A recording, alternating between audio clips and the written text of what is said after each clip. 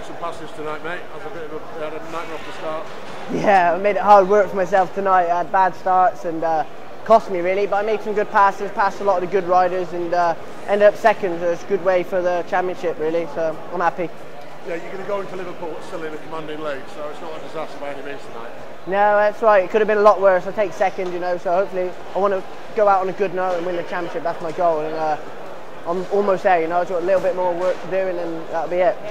Got any message for any Arenacross fans who are over in Babylon to go to Liverpool next weekend? Yeah, you've got to come. It's an amazing show with the freestyle and the racing. You've got to come out and check it out.